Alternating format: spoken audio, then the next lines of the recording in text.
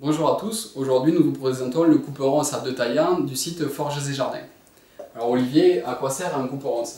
Le couperon va être utilisé donc, pour le débroussaillage de vos ronciers par l'intermédiaire de la partie arrondie de l'outil et la partie plate va permettre de couper des petites branches. Ok, et donc euh, comment est fabriqué ce couperon Donc ce couperon c'est de fabrication française, il est en acier forgé à chaud et trempé. Très bien. On remarquera aussi des petits détails euh, qui font tout le charme de l'outil.